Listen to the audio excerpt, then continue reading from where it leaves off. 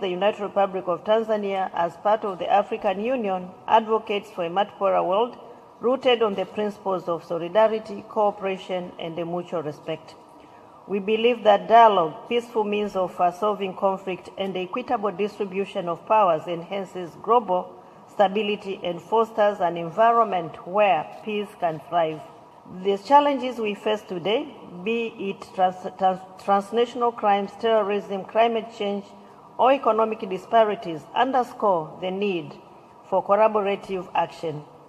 These issues transcend across um, uh, transcend borders and require a collaborative response from all nations.